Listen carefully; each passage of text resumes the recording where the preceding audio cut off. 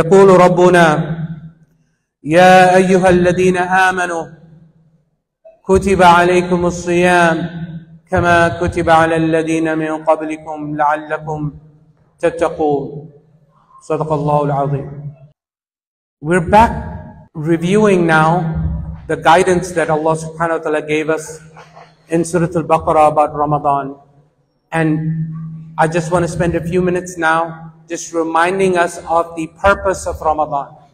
Because when you reach the end of something, you have to, in, order to make sure that you're still aligned, your compass is still aligned in the direction that it's supposed to be, you have to review and look back at the purpose of what you embarked your journey on to begin with, to make sure are you in the right, following the right direction or not.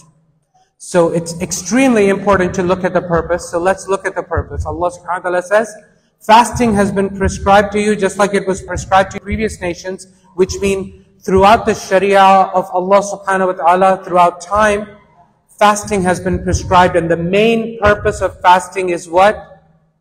لَعَلَّكُمْ تَتَّقُونَ so that you develop taqwa. Simply put, taqwa means protection. What are we protecting ourselves from?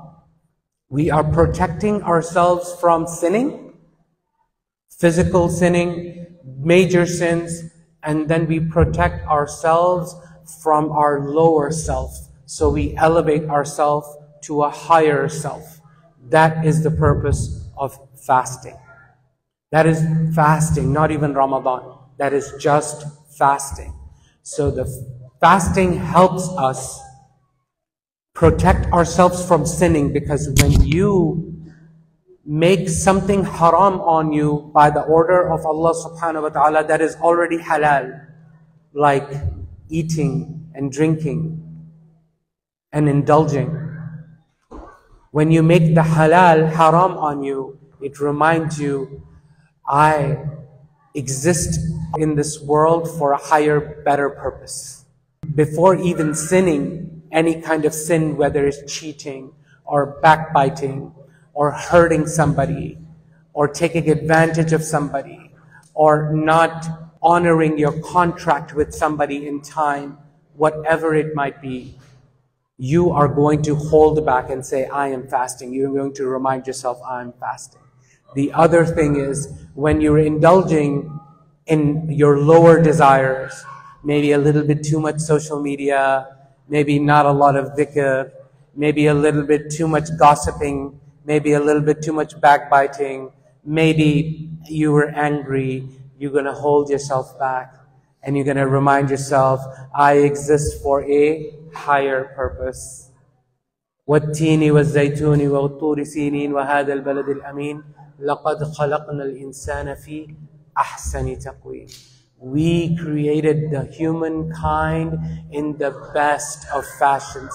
These faculties that Allah subhanahu wa ta'ala has given us, the sight, the hearing, the feeling, and we utilize these faculties for better purposes.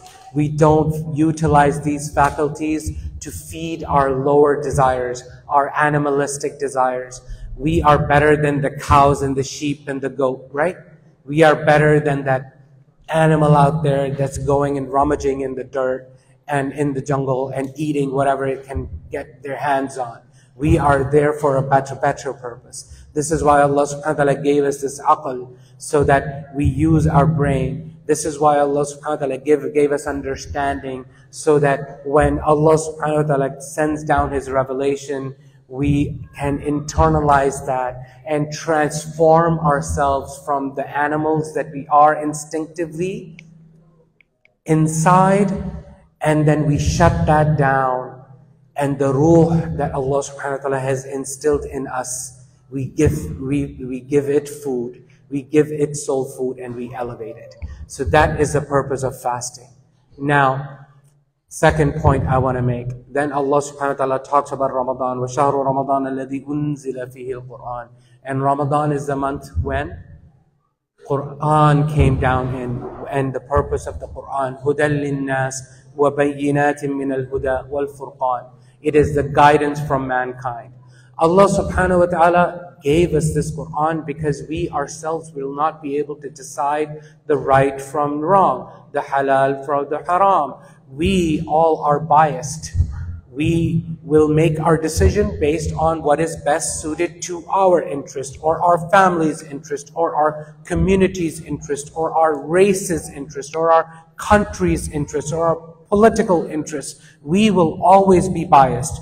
Here is the scripture from Allah subhanahu wa ta'ala that is unbiased because we cannot decide on our own. We do not know the infinite possibilities that exist out there for the different kind of situations somebody might be in. So Allah subhanahu wa ta'ala gave us this guidance so that we don't have to worry about it. We don't have to think. And then Allah subhanahu wa ta'ala then tells us the purpose of Ramadan now. We understood the purpose of fasting is to develop taqwa. Now the purpose of Ramadan. What is the purpose of Ramadan? وَلِتُكَبِّرُ اللَّهِ عَلَى مَا هَدَاكُمْ So that you do takbir over what He has guided you. What are we celebrating today on the day of Eid? Are we celebrating that we're no longer fasting anymore? No. We should be sad that we are no longer in the month of Ramadan and the uncountable benefits that we are reaping from this month. We attained a higher purpose, a higher goal. We are better than we were 30 days ago. Inshallah ta'ala. I hope that is true for everybody. And now we're going to feed our body and we're going to nourish our body. Alhamdulillah, Allah subhanahu wa ta'ala gave us food and drink so that we can sustain ourselves. But be mindful though with the energy now you will get, the energy that you now will get in your body will not only enable you to do good things, but now you have the energy to do what displeases Allah subhanahu wa ta'ala. Be mindful of that for the now, for the next 11 Islamic months. Be mindful of that, that you're feeding your body something that is enabling it. Fujuraha wa taqwaha. It's rebellion and it's taqwa. Right? Allah subhanahu wa ta'ala has put both inside of us. قَدْ أَفْلَحَ مَنْ زَكَّاهَا The one who is successful is the one who is able to put aside and throw away its fujur, its rebellion, its hedonism. That, that you're going to put aside. And then Allah subhanahu wa ta'ala says the purpose of Ramadan, وَلَعَلَّكُمْ تَشْكُرُونَ So we are grateful for the blessings that we have, for the faculties that we spoke about, for the food and drink that we have, for the ni'am that Allah subhanahu wa ta'ala has granted us.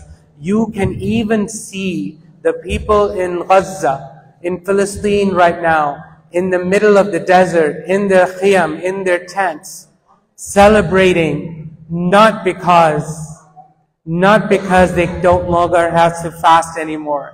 They are celebrating the guidance, hidayah from Allah subhanahu wa ta'ala, no matter the circumstance that they find themselves in. Allah subhanahu wa ta'ala says in the Quran, Ya ayyuhan nas qad ja'atkum min rabbikum wa shifa'un lima fi sudur. All people, Allah subhanahu wa ta'ala says, a counsel, an advice, a manual has come, has been revealed to you from your Lord that will, that is a cure for what is in your breasts, the fujur. It is a cure for what is in your breast so that you find cure and transform yourself to move yourself to taqwa, wa hudan wa rahmah. And it has guidance and it has mercy for those who believe للمؤمنين قل بفضل الله وبرحمته فبذلك فليفرحوا Allah subhanahu wa ta'ala says it is because of this bounty and this mercy this is what you celebrate this is what you should celebrate this is what we are celebrating Allah subhanahu wa ta'ala says huwa khayrun mimma yajma'un it is better than anything you all can gather and surmise and how do we celebrate this guidance? Allah subhanahu wa ta'ala sent down the guidance, its theory. We did the practice in Ramadan. We practiced. We all became and attempted to become walking Qur'ans. Didn't we? We learned how to follow the commandments of Allah subhanahu wa ta'ala to the best of our ability. We rose to our higher self and stamped down our lower self. That is the practice that Ramadan, Allah subhanahu wa ta'ala instilled in this in us. So Ramadan to Ramadan, we are rising. We are rising to higher and higher and inshallah higher levels. Let's keep on rising and we praise Allah subhanahu wa ta'ala and thank Allah subhanahu wa ta'ala for instilling such a beautiful practice in His deen that we revive and review the message and then we live the message for one month strictly. We review the message in our qiyam, in our salah, and we review the message on our own. We practice the message we rise. Let's keep rising. وآخر الدعوانا أن الحمد لله رب العالمين.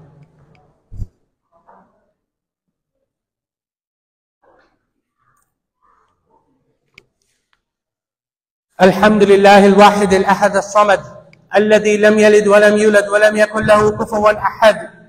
عباد الله إن الله أمركم بأمر بدأ فيه بنفسه وثن بملائكته قدسه.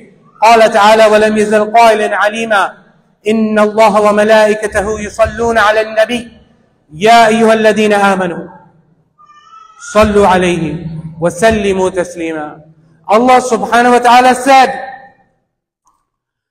O believers, O believers, even Allah and His angels send this peace and blessings upon the Prophet. O believers, you too send blessings upon Rasulullah wasallam. This is a commandment, and this is why we say, اللهم صل على سيدنا محمد وعلى آل سيدنا محمد كما صليت على سيدنا إبراهيم وعلى آل سيدنا إبراهيم. إنك حميد مجيد. اللهم بارك على محمد وعلى آل محمد كما باركت على سيدنا إبراهيم وعلى آل سيدنا إبراهيم في العالمين. إنك حميد مجيد. اللهم أعز الإسلام والمسلمين. أعلي مولانا كلمة الحق والدين. اللهم انصر إخواننا المستضعفين المكروبين في فلسطين. اللهم إنا تجعلك في نحور أعدائنا ونعوذ بك من شرورهم. اللهم يا منزل الكتاب ويا مجري الصحاب ويا هازم الأحزاب اهزمهم وانصر وانصرنا عليهم وانصرهم عليهم. اللهم انصر أهل غزة. اللهم انصر أهل غزة. اللهم انصر أهل غزة.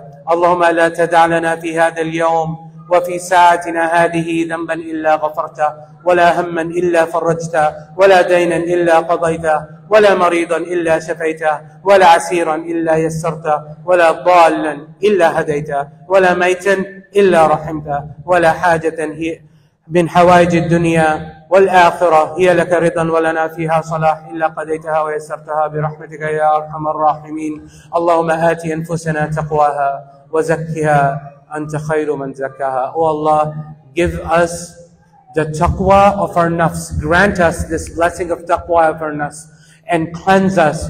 وزكها أنت خير من زكاها and you're the best of the cleansers, O Allah. Allahumma arina al-haqqa haqqan. O Allah, let us see the truth as truth. وارزقنا اتباعه and give us and grant us the ability to follow the truth, O Allah. وَأَرِنَا الْبَاطِلَ بَاطِلًا وَارْزُقْنَا اجْتِنَابًا And let us see the falsehood for what it really is falsehood. Because we're confused. Oh Allah, we're confused. Grant us the ability to see the right from wrong and grant us the ability to do away with the wrong. ربنا اغفر لنا ولإخواننا الذين سبقونا بالإيمان ولا تجعل في قلوبنا غلا للذين آمنوا. ربنا إنك غفور رحيم. عباد الله إن الله يأمركم بالعدل والإحسان وإيتاء ذي القربى وينهى عن الفحشاء والمنكر والبغي يعظكم لعلكم تذكرون. الله سبحانه وتعالى says Allah has commanded justice regardless of your own personal harm. Justice be served, wal ihsan and excellence. Not just justice, but justice with excellence. Meaning, if you can forgive and still be just, forgive. But if you, if you, you shouldn't forgive, because then it won't be justice, then don't forgive. Allah has commanded justice wa ita'idil qurba and for you to give to your near relatives charity to your near relatives is a priority وَإِيتَاءِ ذِي الْقُرْبَى Before anybody else. وَيَنْهَى عَنِ الْفَحْشَاءِ And He forbids you from any kind of fahsh thing, any kind of lewd behavior, any kind of indecency that is commonly understood to be indecency. وَالْمُنْكَرِ And things that are utterly rejected by the deen. وَالْبَغِي And rebellion against the deen. Allah subhanahu wa ta'ala says, يَعِذُكُمْ لَعَلَّكُمْ تَذَكَّرُونَ I counsel you, I advise you so that you recall, so that you remember and you try to remember.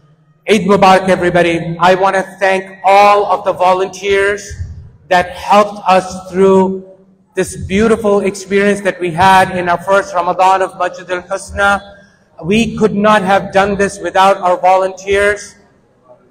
And we have amazing food and breakfast for everybody relax, enjoy, but do not forget, as you feed your body, you will get the opportunity to do wrong.